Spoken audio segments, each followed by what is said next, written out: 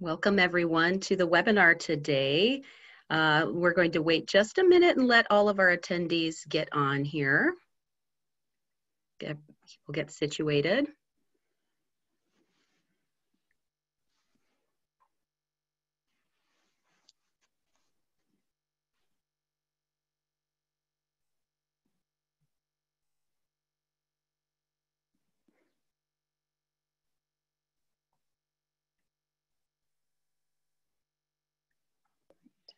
All right. Well, I think we're going to go ahead and get started. Um, we are very excited to bring you uh, NICU Parenting, the Emotional Journey with Mara Tessler Stein today. Uh, my name is Eva Fastbinder Brummel, and I will be moderating the session. So uh, this webinar is, uh, if we could go to the next slide, please. This net webinar yes. is you by the Wisconsin Association for, thank you, for Perinatal Care, um, otherwise known as WAPC. And so for those of you who are unfamiliar with WAPC, we are an individual membership organization with the mission to improve perinatal care. Our members are located throughout the state of Wisconsin and nationally. The statewide office is based in Madison. Uh, through its multidisciplinary membership and its partnerships with healthcare providers, parents, governmental agencies, professional societies, and, and healthcare systems, WAPC stays current about key issues in perinatal care and how they affect women, infants, and families. And being multidisciplinary, we feel that WAPC is really unique and it's one of um, WAPC's greatest strengths because it positions WAPC to gain a wide variety of perspectives about what those key issues are and how we can work together to improve perinatal care. So WAPC members stand united in that common goal of providing excellent health care to women, infants, and families in an ever-changing, and especially now during COVID, an ever-changing healthcare environment. Um, the association offers resources and opportunities to help members meet this goal and the daily challenges uh, that you um, face in the workplace. So we, I also just want to thank you for choosing this webinar today. We know that you have many other online learning opportunities to choose from right now now, and we really appreciate your time and you uh, choosing to participate today. And we are able to offer this at no cost through the support of the Department of Health Services uh, at from the state of Wisconsin and the Perinatal Foundation. Uh, but we're also very much supported by our membership. So if you would consider joining, if you agree and want to be part of a multidisciplinary team that wants to improve perinatal care, um, we would absolutely welcome you with open arms and we'd love to have you join. So please go to perinatalweb.org and check it out. Um, and we also want to appreciate the work of our planning group for this educational series. Members of this group have no relevant conflicts of interest to disclose. Okay, moving on. Um, there are others disclosures there just for your reference. Just please note that you do need to attend the full session and complete the evaluation in order to receive continuing education credit. We offer continuing education credit for nurses and for physicians. Um, so that's something that you can watch your inbox for um, this week for the evaluation link and also some other resources that we will um, include in there, including the recording. So. Um, and so we want to uh, talk about uh, what we're going to learn today. So at the end of this presentation, participants will be able to review three losses faced by clients as they journey through the NICU, identify and recognize the emotional experience associated with these losses, and name specific approaches that could be helpful to clients as they seek to cope and find emotional resolution to their losses. And our learning outcome, participants will incorporate the approaches learned today into practice, recognizing the work within a their work within a relationship-based framework.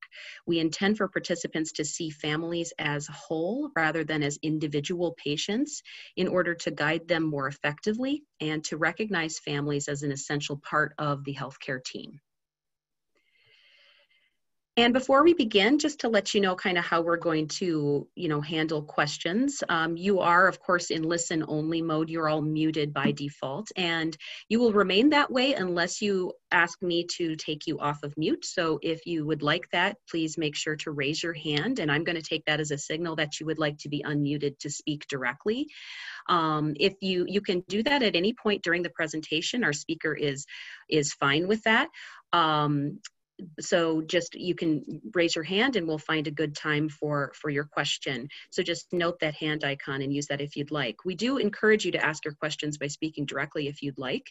Um, but you can also ask them of course by typing them into the q&a uh, we would prefer if you try to, to type your questions in the q&a field rather than the chat box because it just helps us to organize them um, and so I will communicate those to the instructor as as we we get them in. Um, and we may wait. Some of them may wait until the end. We're also going to have some time at the end for questions as well. Um, if we don't get to your question due to time constraints, um, or if you think of a question later, please feel free to use that email address and email the question to us, and we'll make sure to put you in touch with Dr. Stein. All right. And so right now, we would like to learn a little bit more about you um, to tell us what you do. So we're going to have you answer a poll right now. And um, you should be able, I'm going to launch this poll. So you should be able to see that now and go ahead and vote. Um, if you don't see yourself on this list, just type in what you do on the chat and that'll give us a good idea as well. So while you are voting there, I am going to introduce our speaker. So we are very honored and very grateful to welcome our speaker today. Mara Tessler Stein is a clinical psychologist. She is the founder and director of the Touchstone Institute for Psychotherapy and Training in Lincolnwood, Illinois.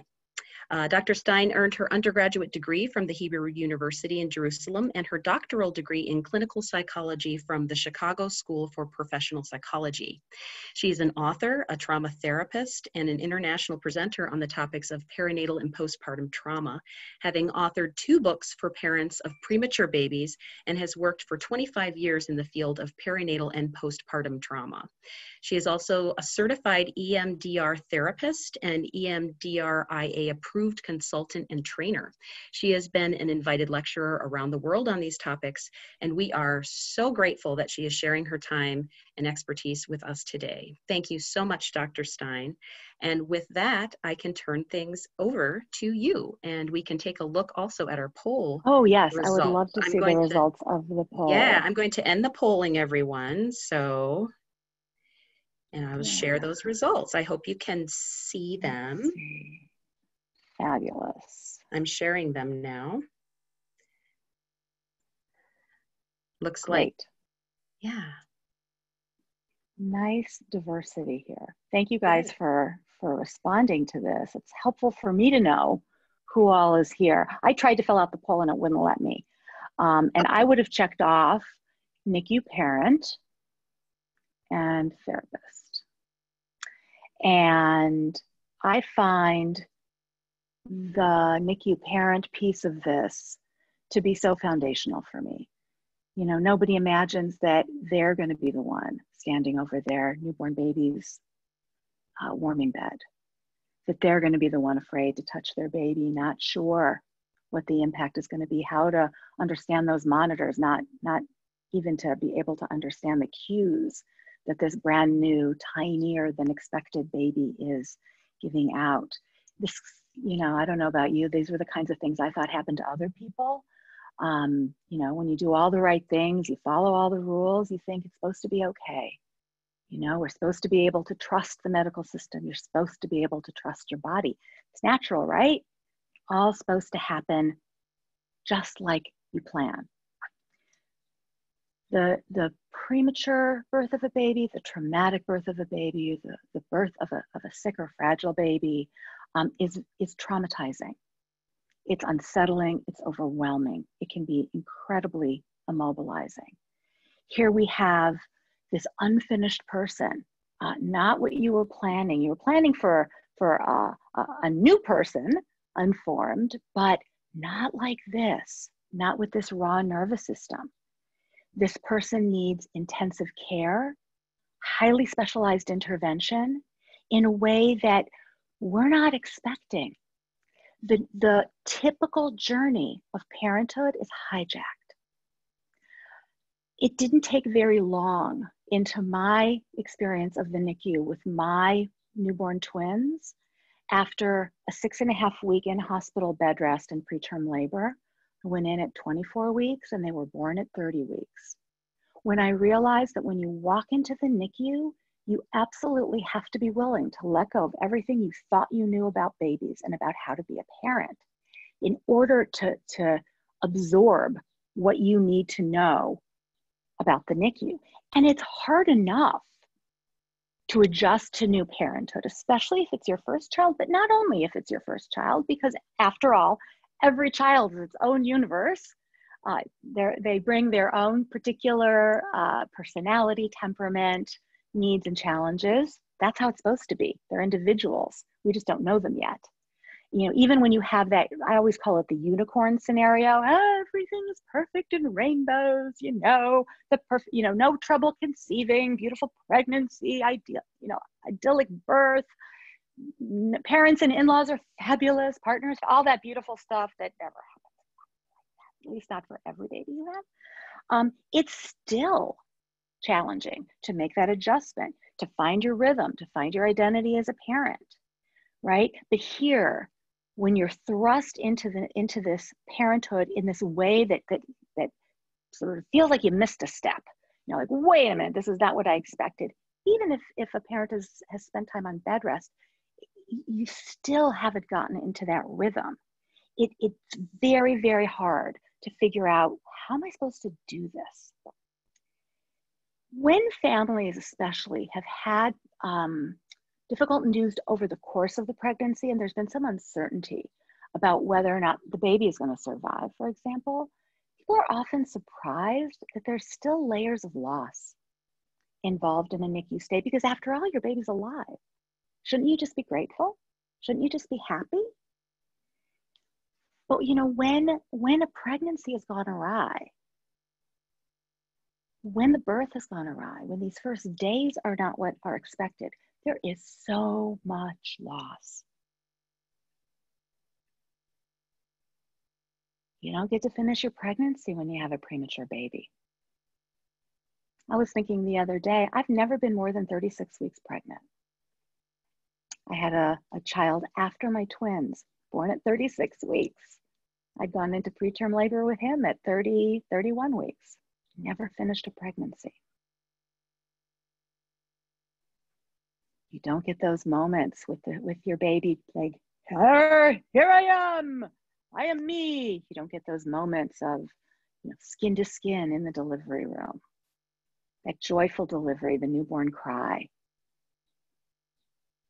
Taking your time not being rushed when the babies are born baby or babies are born. Nursing now it can be challenging again even in the unicorn scenario but you try to you try to breastfeed a, a baby in the NICU. Not so not so simple for a whole bunch of reasons. And and the simplicity of bringing an older child, family members, to just meet the baby. You know, for, for NICU parents often feel like you know they have the this theoretical child. You know, like no, really, here's pictures. No, really, really, this is my baby. I promise. You, you don't get those those uh, those experiences. In addition to that, there's there's a the loss of the baby that you imagined, because this baby will not be the baby that you imagined. This baby entered the light the world differently than the baby you imagined. Very often, there's a, a feeling of loss of trust in the medical system. Wait a minute, I followed all the rules. I did everything you said. This was not supposed to happen. How could this be? And of course, sometimes in the NICU, a baby dies. And so there can be as well the loss of a baby or the loss of one or more in a set of multiples. So much uncertainty, so much loss of expectable rhythms within a normative framework. So instead, parents enter this foreign land where there's a whole lot of equipment, a whole lot of support to keep this baby alive and for everybody who's caring for the baby to, to be monitoring what's going on. Baby does not look like the baby you imagined. Skin looks different. Muscle tone looks different. Eyes may not open. There may not be eyelashes. I can remember coming up to one of my girls and touching her ear and bending it in, and it just stayed there because the cartilage hadn't been fully formed yet. Some babies are born, they don't have fingernails yet. Baby does not look the same. You can see how it would be so frightening for a parent. Parent doesn't want to, to do harm, doesn't want to make anything worse. Baby's attached to all kinds of stuff parents can't tell the difference between what's mon- what's doing monitoring and what's doing life support or other kinds of support. You know, I always tell people, you know, most of the stuff attached to your baby is actually monitoring things, depending, of course, on the baby. It's a lot of monitoring. And, and then, of course, some things that are delivering care as well. Imagine then what it's like to hold your baby along with your baby's life support equipment this mother is very fortunate that she's in a NICU where they're set up for that clearly. And the nursing staff must be very comfortable saying, well, of course you can do kangaroo care, which is the skin to skin care that's so helpful to parents and to, and to babies. It's, it's incredibly, incredibly lonely, this experience. It's disorienting, it's overwhelming. And the first thing that, that you lose in a perinatal crisis is, is your innocence. And the second thing is your peer group. Because who are you going to talk to? People want to make it okay. People want to say, well, I knew somebody who had a baby or who was early and they're thinking about a baby born, you know, at 37 weeks, maybe 36 weeks. Maybe they heard a story about a, a baby who was born at 20, 28, 29, 30 weeks but they haven't necessarily had the experience themselves. So, finding a safe space genuinely with people who understand to talk about the experience is priceless because it's unlikely that your friends, your, your sister, your mother, your mother in law, your neighbor will actually speak this language. And speaking the language makes an enormous, enormous difference. There's so much to learn, there's so much to adjust to. And so when I work with families and when I work with professionals, I organize it like this. When when um, Debbie Davis and I, who's my co-author, uh, started working on our first book, which is for parents of premature babies. Our second book was for all, ba- all families who had babies in newborn intensive care, not necessarily just prematurity. What we, what we realized as we were doing these interviews with parents around the world is that there's really three core experiences, tasks, processes that families are um, needing to engage and mobilize during this experience. The first is managing feelings, all kinds of feelings. Some of it has to do with emotional regulation, some of it has to do with how this actually feels, what this experience is like. Uh, some of it is, is the, the trauma and the grief, all kinds of all kinds of emotional uh, internal experience. The second is managing relationships, relationships with the baby, relationships with family, relationships with your partner, relationships with healthcare providers, work, the outside world, a lot of relationships that are going to be different when you have a baby in the NICU. And then finally, developing your sense of yourself as a parent to this baby, right? So even if you have older children, even if you have prior parenting experience, parenting a baby who needs newborn intensive care is necessarily different. How different is going to depend, but it's different. And what does it mean to you?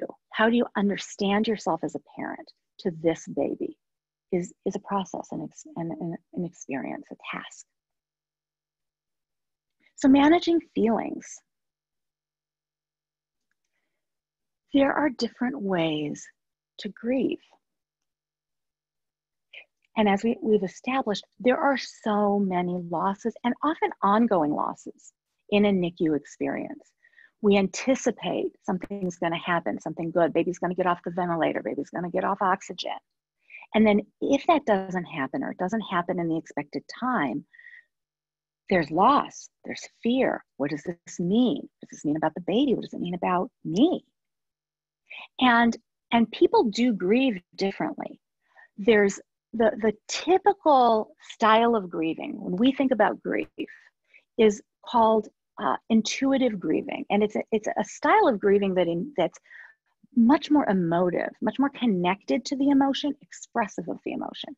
So crying, thinking about the baby, talking about the baby, uh, expressing what's happening, seeking connection, or, or even just thinking about it alone, but being very immersed in the feeling is, is typically what we call intuitive grieving. But there's also a style of grieving called instrumental grieving. And instrumental grieving is about what you do. And, you know, nothing is ever going to be split by gender 100% or even close to that. We typically will see moms will tend to be intuitive grievers, dads will tend to be instrumental grievers because that's how people tend to be socialized. But of course, I, I, and I'm sure all of you have seen the reverse. Instrumental grieving, one of the best examples that I can think of of instrumental grieving is the dad who disappeared um, night after night into the garage doing his woodworking. And what he was doing was building a coffin for his baby who was dying. He didn't cry a lot, he didn't talk a lot, but he was grieving and he was doing. For some people, uh, the grieving is in their, their focus on taking care in this country of insurance, insurance claims, insurance payments, making sure they go to work while the baby's in the NICU so that they can be home when hopefully the baby comes home. But being focused on that as a task, focused on that, that's, that's important. Families deal with trauma. Perinatal experiences are very often traumatizing, if not always traumatizing. That doesn't mean everybody develops uh, post traumatic stress disorder in its full blown form. But trauma is an injury, trauma is a wound, a disruption, a rupture in what we're prepared for and what we're expecting. So much so that the nervous system can't really handle it or can't fully handle it. When that happens, those experiences get snarled up instead of getting woven into experience. We're always weaving experience together. That's what we do as human beings. Some of these experiences and, and ways of being in the world we're born with, some we're given, some we choose. If I had my choice, I'd be choosing, you know, silk and cotton thread, soft, smooth, you know, beautiful colors. When I went into preterm labor with my twins, it felt like somebody had thrown me some barbed wire, and I'm supposed to weave with that. Doesn't weave very well. Um, and what happens with something like barbed wire is it snags on all kinds of stuff, and not always the stuff that you expect, actually. All kinds of other stuff starts to come up that, that you were not prepared for. And that's, that's characteristic of trauma. Certainly, there's fear. And I think that it's really easy um, for people who are working in this area day in and day out to kind of know yes, there's fear, but not to really deeply um, know that. I developed a course, it's about 18 years ago now, it's hard to believe, for my graduate school um, on perinatal trauma. Um, and I brought my class to the NICU where my girls had been born. Uh, so this was already four or five years later. And the neonatologist who met with us was wonderful. And he was always the guy who um, took care of the sickest babies. And so he was very, he was psychologically minded. And I think that was why he volunteered. And at one point, he said, You have to remember that this is probably the scariest thing that's ever happened to people. And I was sitting next to him and I just echoed him and I said, Yeah, it's terrifying. And he stopped cold and he looked at me and he said, Terrifying? And I said, Yeah, terrifying. Absolutely terrifying. You don't speak the language, you don't know what anything means, you're completely overwhelmed, as moms, moms will often say they already feel like their body's betrayed their baby, let their baby down. They've already screwed this up. So the fear of, of, of doing harm is tremendous. But it struck me that he knew, but he didn't know at the same time. So really getting in touch with that can be very helpful. And then, of course, finding meaning in this experience is key. So, with all of those chaotic emotions, remember, even intuitive grievers may fall prey, and it's not all bad, to the urge to do. So, pumping, for example, uh, even if pumping is not going well, trying to get things to happen is a way to try to organize. A way for you to understand what's going on there. It's not really just about control. I hear people say, well, they're trying to find something they can control. That's part of it. But part of it is that with trauma, we do better when we can mobilize. It's not about power and control per se, it's about action. When we're frozen, when we're immobilized, when we're cornered, we, the trauma can't move. We're really frozen and stuck. So, having something to do helps the weaving to happen, helps the movement to happen, helps you to get used to the threads that you've been thrown, including the barbed wire. And so, as clinicians, what we need to do is to listen. So, we know this, right? But how do you listen? What does that mean, really, to listen? So, we hear the words, we hear the language, but how do you hear what's underneath? How do you hear what's woven inside? So this this image, which now you can find apparently everywhere uh, online, was actually given to me by a neonatologist in Australia named Guan Koh, Guan Koh, who presented at a conference that a group of parents of premature babies. We put this together. It was about 20 years ago, and he, this is I've used this ever since because I think that it really captures it. You you look, you really look. Don't be distracted. Look, look and see what's coming through, not just in the words. Pay full attention and let yourself feel some of what the parent across from you is telling you so that you, you can really feel it more deeply and feel all of them. Because parents, especially at the beginning, or especially when there's something additional going on, another crisis within the NICU uh, experience, they may look really fragmented. They may look really all over the place. It's really important to remember for many, many of these people, their life was really just fine until this crisis hit. I mean, we all have stuff, right? And of course, some of you are working in settings with people whose lives were already chaotic. And so, it, even more important, actually, to find some cohesion behind the, the disarray behind the static that you're hearing. But remember, for a lot of people, we, we were okay before. I was hospitalized at 24 weeks on a morning where I went in for a routine ultrasound and then a quick doc, quick doctor's visit to be told that I was a, centi- I was a centimeter dilated and 50% effaced. Doctor said, I'm gonna send you up to the labor and delivery unit, put you on a monitor. You need to make any phone calls. And I said, Do I should I expect to be here all day? just looked at me like, uh huh. Yeah, yeah. I think she couldn't bear to tell me like a lot of days, maybe. Hopefully, hopefully a lot of days. So, four weeks later, as I'm laying in a hospital bed, wondering, wait a minute, I was teaching a bunch of courses, which somebody took over for me. You know, I haven't heard from my students. Now, this was 1996 in the pre email days and pre cell phone days. So I started to think, what happened to my students? So one day, nurse walks in and without saying a word, hands me a card. Open up the card, lo and behold, it's a card signed by all my students. Oh, that's within a month.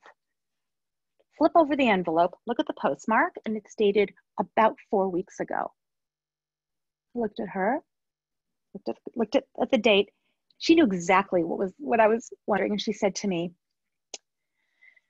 nobody could figure out who Dr. Stein was. It had been addressed to Dr. Stein, not to terrified woman in a hospital bed on the antepartum unit. Four weeks, nobody could figure out who Dr. Stein was. I was both.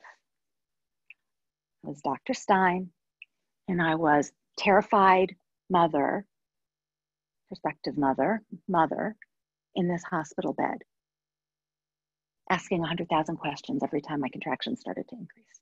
It was both. We have to see both. Until we see both, it's hard for parents to see both and to find themselves as parents. How do you identify yourself as a parent in the midst of this crisis? How do you understand your role with this baby, especially when your baby is intense, in intensive care? Right? You touch touch a premature baby, and they desat. The saturation, oxygen saturation goes down, all the alarms go off. You're like, I will take three steps back and let the people who are experts take care of my baby because I do not want to do harm. How do I make sense of this? How do I see myself as a parent? And it's about mobilizing. Right, right around four, four weeks is like apparently a very significant time in my timeline. About four weeks after my girls were born, sitting, sitting there, spent all day there because I wasn't working at the time, didn't have older children. And one of the babies, Gabriella, her oxygen saturation started to dip. Now, my kids didn't have that kind of stuff happen. Very commonly in the NICU, you see um, preemies, especially, um, because the brainstem is, is immature, they sort of forget to breathe or they breathe really shallowly and their oxygen sats drop. Sometimes their heart rates drop. That was just not one of the things that happened. My girls were on oxygen. They actually came home on oxygen. So it was very strange.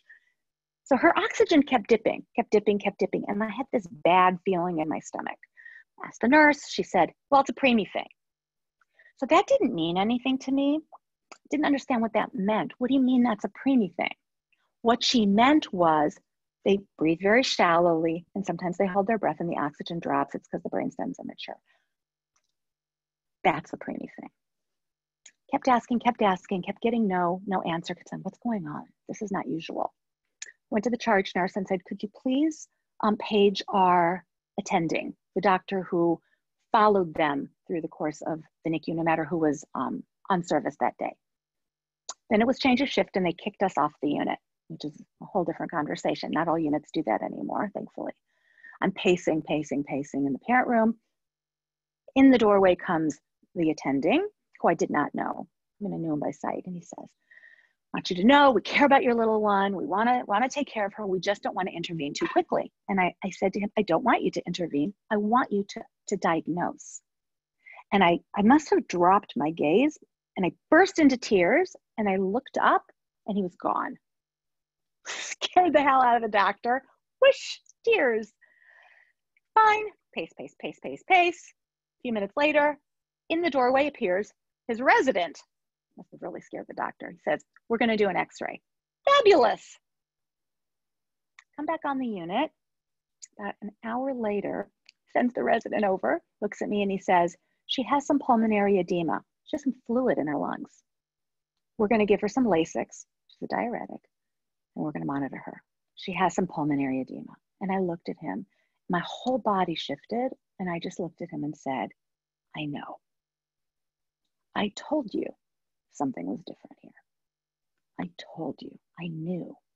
That's the first time I really knew I was this little baby's mother in that mama bear sense of, I know you, I get you, and I will speak on your behalf. I was like, wow, amazing.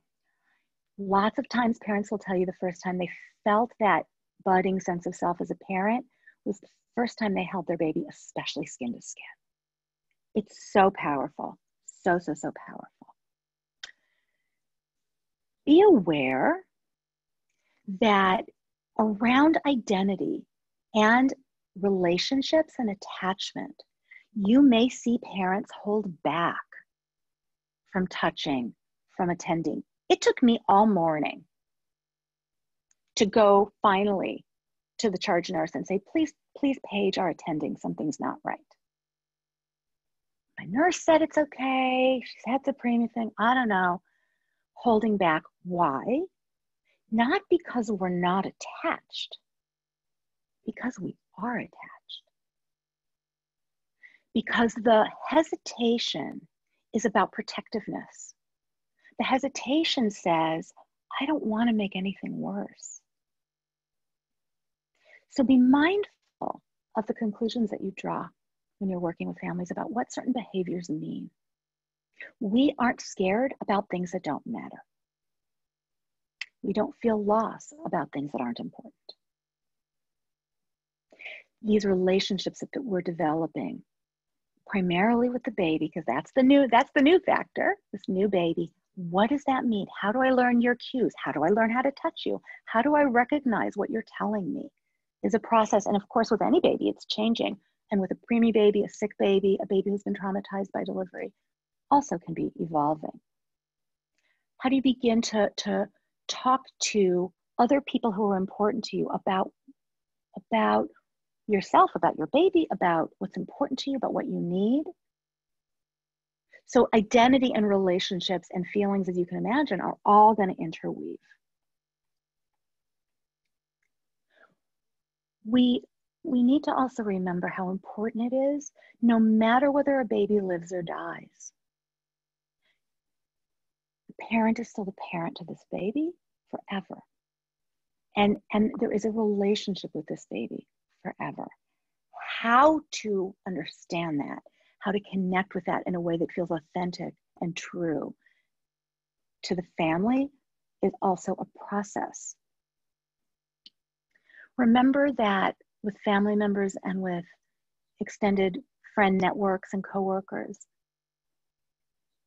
people don't feel like the same people they were before. They may not feel like they fit in the way that they did before. Very often, we need to ask people around us as, as parents to do things that they don't want to do. What do you mean I have to wash my hands? Huh, right? We know how that feels now, right? Here we are in COVID, and we're think about all of this stuff now that that echoes this experience, that echoes bed rest, that echoes a NICU stay. I need to scrub before I, I can get near this person that I love because I need to protect them. And I don't know what I'm carrying in with me. I feel fine but it doesn't matter because their safety is more important. I need to learn how to engage in a way that's different. Think about all of the times that we hear about people on a, on a unit with COVID and how family members cannot come. There, there, at least when my babies were in the NICU, this has changed for many families, but there's a there's certainly a limit to how many people can come on the unit. And and we could only have parents or grandparents on the unit. You couldn't bring a friend. We didn't have any family in town. So who can come visit? Who can come be there? I would like to also say parents aren't visitors. Uh, they get called visitors. Parents aren't visitors. Parents are coming to parent their baby to take care of their baby and this is one of the, the, the central pieces of, of, of a philosophy of care we call relationship based care relationships are the cornerstone of solid healthcare because really we are taking care of, of a baby, but there is no such thing as just a baby. Donald Winnicott was a psychoanalyst uh, um, in the early 20th century. Um, and he says there was no such thing as a baby. What does that mean? Baby can't survive without a caregiver, typically a parent. Baby is a, ba- a baby and, a baby and who's taking care of you. And so, similarly, I think there's really also no such thing as a parent without also remembering there's a baby, whether the baby lives or dies. We are dyads or triads in combination. Relationship based care supports the relationships, parental identity development, and emotional regulation, all of which are resources, internal resources for families. And our work doesn't matter if you're a nurse or physician, midwife, uh, a unit perinatal social worker, a psychotherapist working outpatient, any care provider, anybody supporting a family, our work is to support and foster the bond between parents and babies. Always support the bond. We are, wa- we are watching over the parents developing sense of themselves as parents to this baby. The baby is part of a family, and the family is part of the healthcare team. The family has a job, the parents have a job. They don't want your job. They don't want the nurse's job. They don't want the doctor's job. That day when I said, please page the attending, I did not want the nurse's job. I was doing my job. I did my job as mom. My job is vigilance. My job is attachment. My job is love. That's the job of the parent. And thank goodness, because the parent is the continuous variable.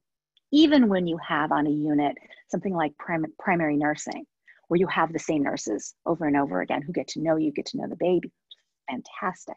Parent is still the continuous variable. The nurse who said to me it's a preemie thing was one of my favorite nurses and was a primary nurse who took care of Gavi almost every day. But I had a feeling. We hold each other. We are nested one inside the other.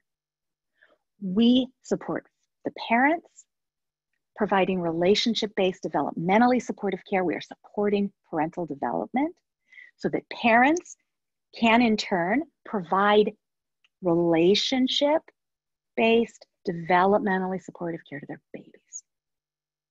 We also need to be attentive to who's supporting the care providers. So here is some work that, that I like to do as well. Debbie Davis and I, after our first book came out in 2003. The second one for NICU, NICU families came out in 2013. And we had we have said for many years our next book needs to be for healthcare providers. And right before COVID, we sat down and said, I think it's time. So that's that's our next project. What do you all need?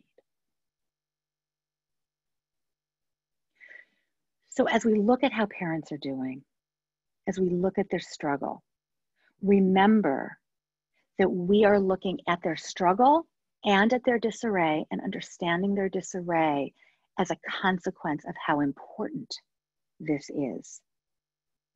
That they're struggling because this matters. Parents need to know that we don't think they're incompetent just because they're terrified, that we don't think they're undeserving because they're angry and maybe hostile or sharp or that we think that they're helpless and incapable when they're in a moment of shock. One of these ideas that often persists is that parents are too emotional or too overwhelmed, for example, to make decisions about their baby in intensive care. I want you to pause for a second and think about that. Who is supposed to make decisions? Who is in a better position to make decisions than the parents? Who, who love their baby and worry about their baby. Parents may have these moments where they are shocked and frozen. They can move out of that state into a more present and oriented state where they can access their ability to think and, and be active in the team again. Parents make decisions as part of the healthcare team they don't have all the information. They need the information that the doctor provides, that the nurse provides. So what happened with, with my daughter that day was not, thankfully, a medical massive crisis. Maybe could have become one, did not become one. But I didn't have all the information. I didn't think I knew everything. I just needed them to look and pay attention and gather the information in a way that they knew how to gather it and how to interpret it.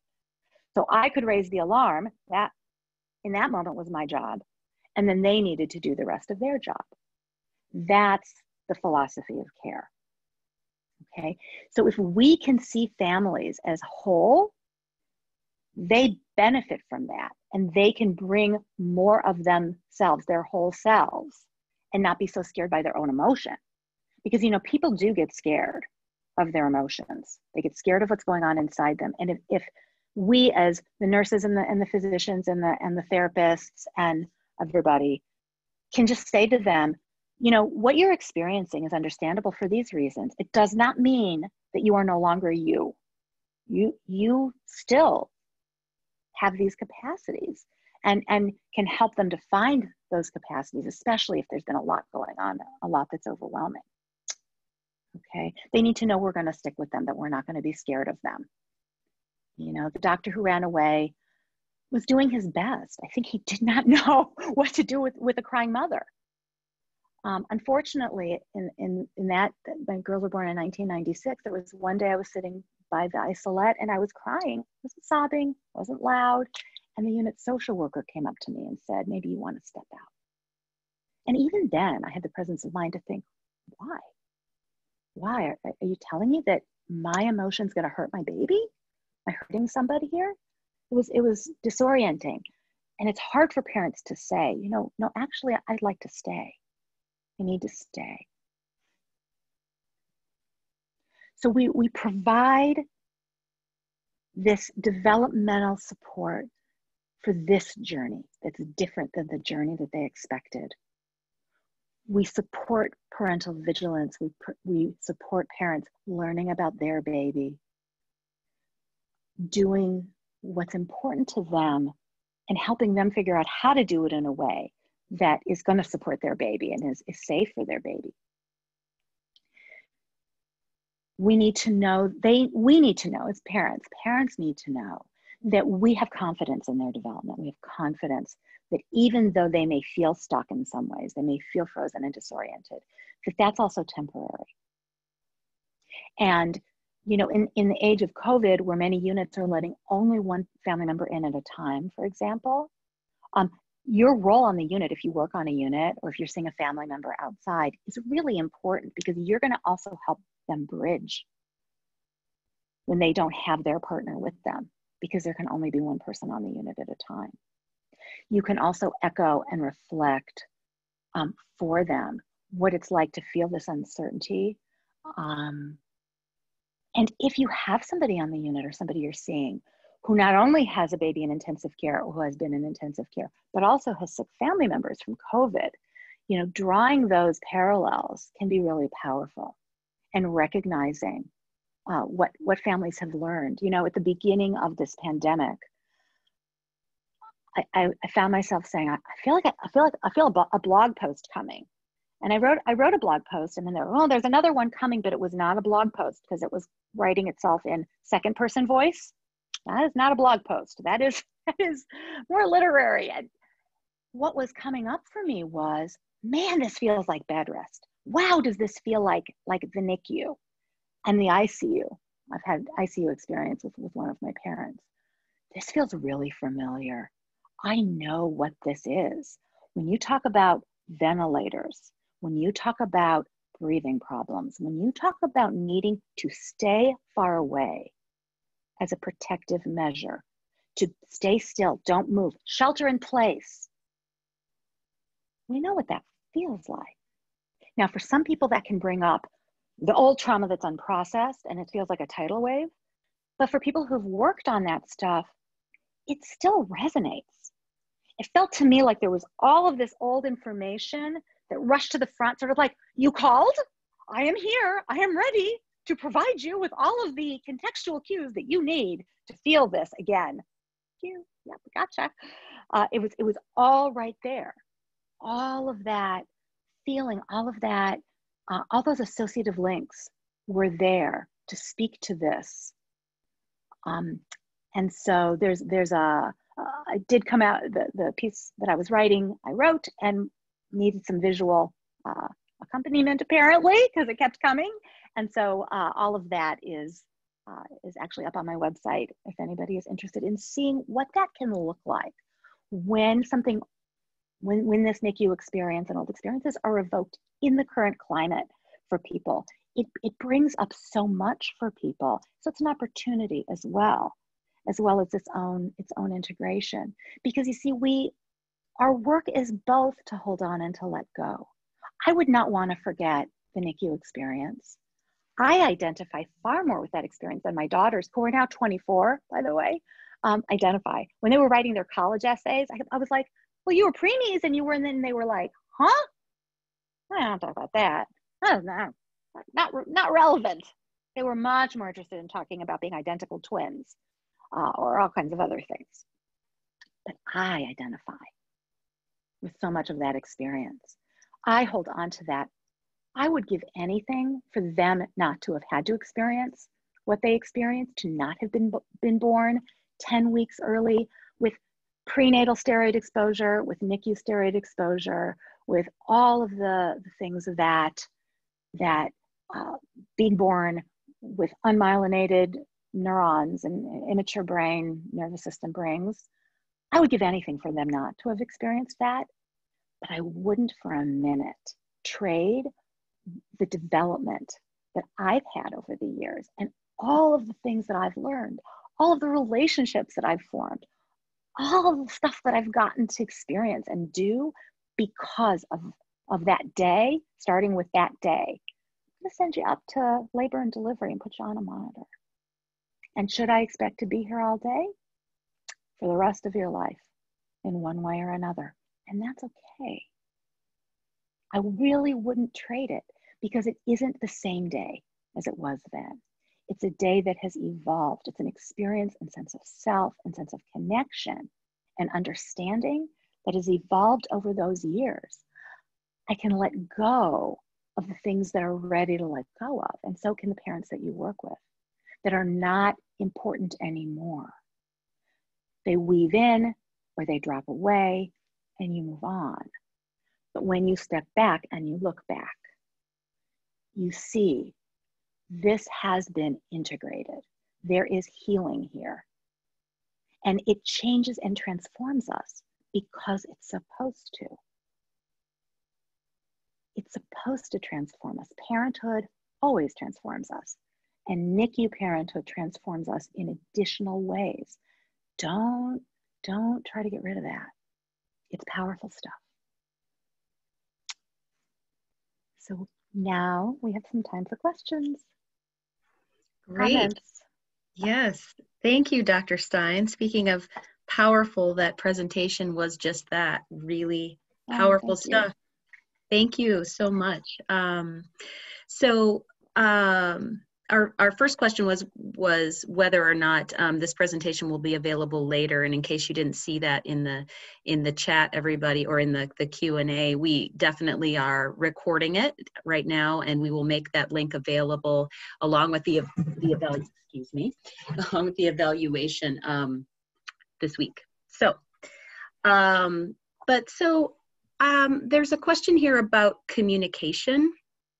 Yes. So your story about why don't you you know your story about the the doc or or, or nurse who said um, okay you need to go and be monitored and you said mm-hmm. well how mm-hmm. long will i be here um, will this take all day and right. it sounded it sounds like you didn't really get a, a good answer to that question and really um, or didn't get a complete answer and so i expect that that was jarring to you once you realized how long you might actually be there. And i'm thinking about how could that exchange have gone differently or better yeah.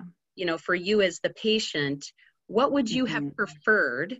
And what do you think you know would you have preferred that yeah. they were just brutally honest in that moment? And and this kind of relates to just sort of advice for caregivers when you have to deliver that heavy mm-hmm. information that they are not expecting.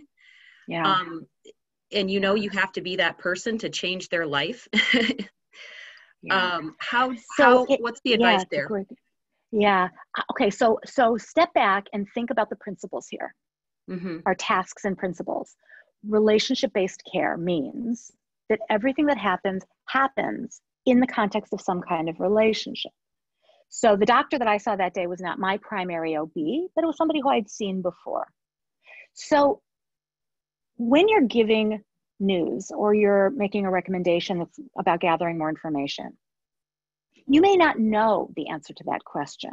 You may not know what's coming next. But what you can say is think about continuity, think about connection.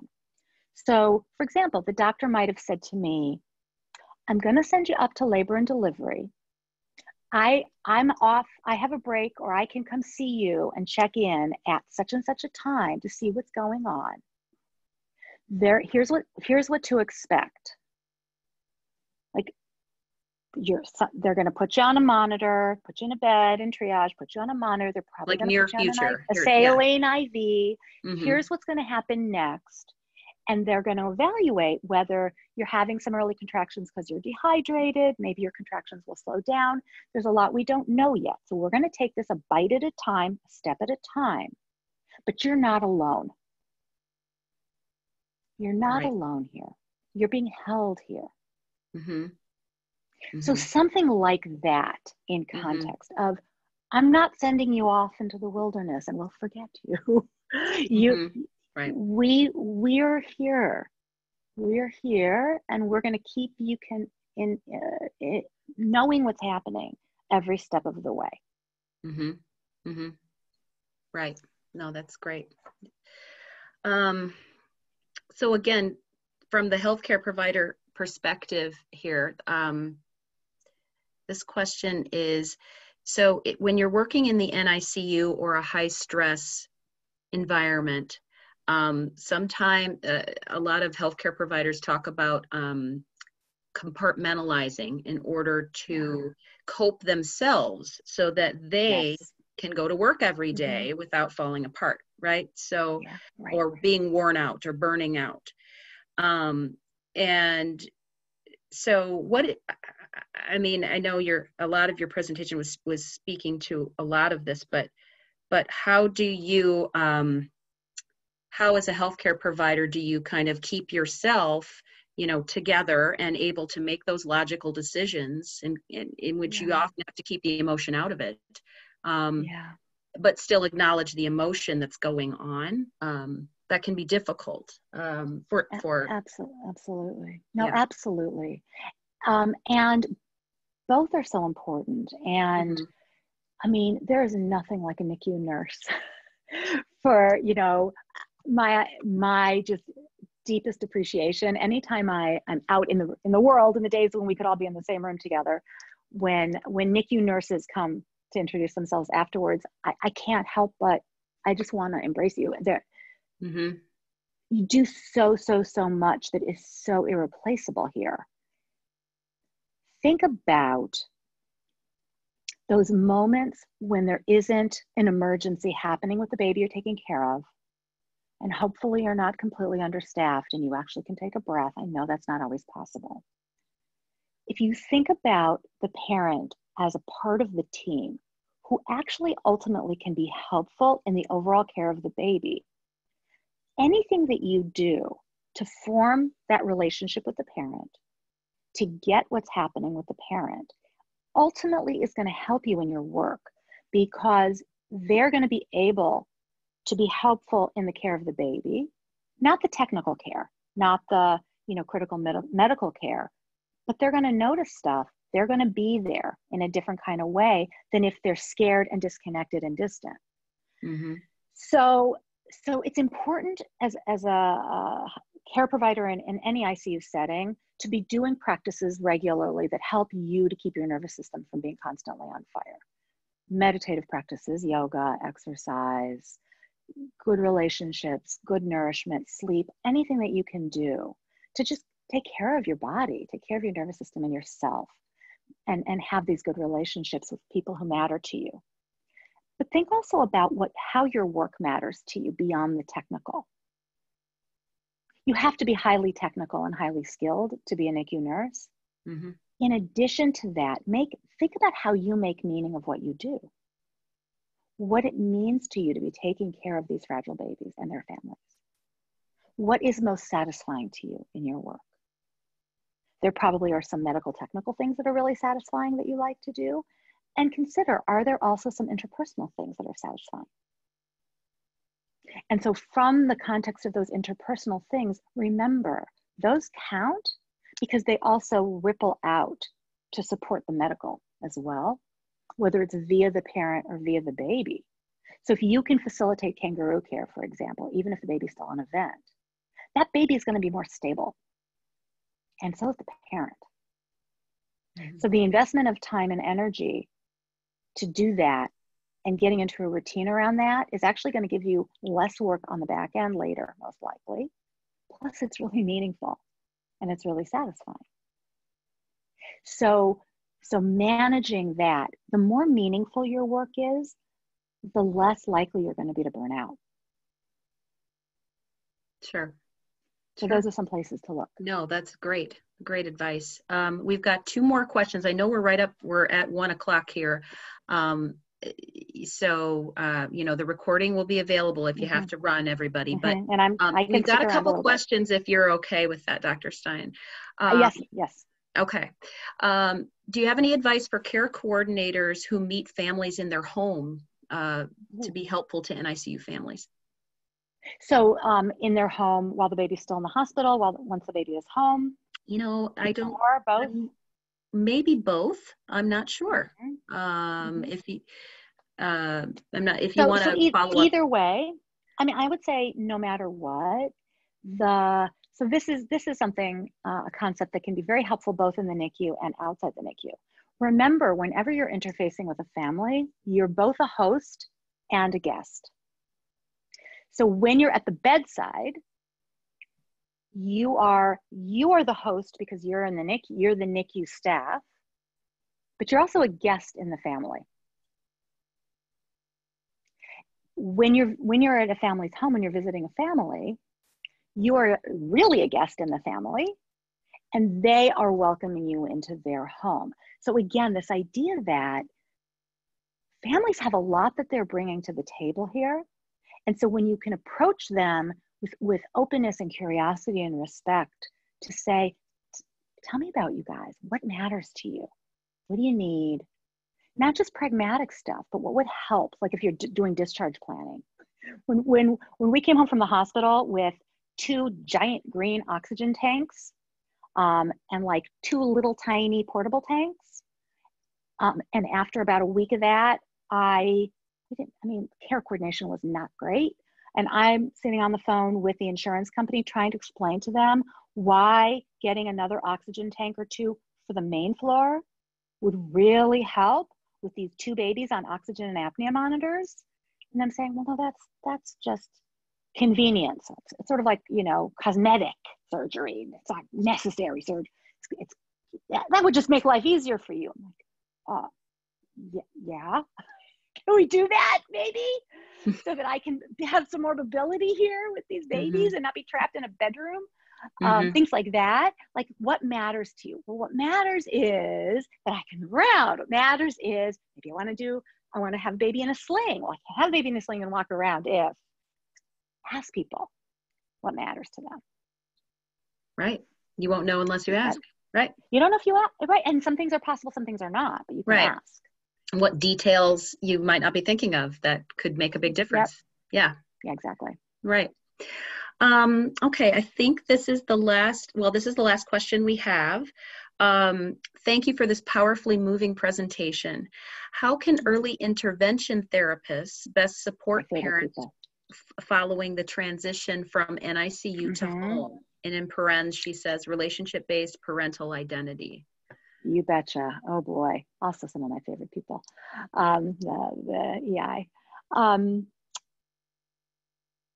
help parents to navigate the balance between their parental job and taking on the role of PT, OT, speech, all of these all the therapies um, because parents want to do everything they can to help their baby's development and very often end up being the feeding therapist, being the P, you know, doing PT exercises and OT exercises, and they get all worked up about that kind of stuff. Now, there is a balance here where incorporating some of those exercises or play or whatever needs to be done is necessary and helpful. But help parents to see how what they might do naturally as parents may, may need to be modified or accommodated for, for their baby but that that's developmentally supportive for their baby. Help them to see how important what they do what their natural nurturing instincts are how powerful and effective those are that they can be them. They need their baby needs them so what happens sometimes is you know you may hear that and and and then so then a parent says to me yeah i was told just be the mom. Yes but what does that mean? Just be the mom means i'm vigilant. So now i, I don't know what to do with right. that. What that means is do you want to go to the park? Do you want to take a walk? Do you want to sit with the baby and and hand him or her a leaf you know, to, to touch, to what would you do if you didn't have early intervention in your house? What are things you'd like to do? What are things that you're not sure it's okay to do? Maybe it is. Help them see how, well, you know, here's what that's doing for your baby. Do it for that reason, but you know what? Do it because it's fun. Do it because what your baby needs and what you need is connection. What your baby needs is that you are comfortable dancing in the relationship back and forth with him or her so that there's that bond, there's that communication and and attunement to your to your newborn, to your baby, to your growing toddler. That actually forms the bedrock and the foundation for all development. That relationship is critically important. Parents often don't realize how powerful and important things that, that they would want to do and naturally do, how powerful that is. It comes out of how much we do in the NICU, how much we see being done in the NICU and in, in follow-up care. So the the feeling or the belief, even if it's not articulated, is if I'm not doing something, I'm not doing enough. So recognizing that the soft stuff is really powerful is important. And so make sure you know that. Make sure you really get that so that you can pass it over in ways that are, are really going to be authentic and you know uh, believable that you really believe it because you really see it right right great Thank you so much, Dr. Stein. I think that we've we've answered all the questions, and you know we're a little over time, so thanks those of you who are able to st stay with us. Um, if you have any other questions that you, yeah, if you have any other questions, please email uh, WAPC at perinatalweb.org, and we'll make sure to connect you. Um, so could we go to let's uh, maybe advance. Do you have that last slide i do. yeah oh here's oh. here's books and resources but oh, you nice. have that if you like. Nice. Fantastic. We, well I'll, we'll make sure we should put some of that in the i'll give you yeah i'll give you links yes yes that would be great okay i just wanted to make sure um, that everybody's aware of the next webinars we've got coming up in the series um, we have had a, a postponement.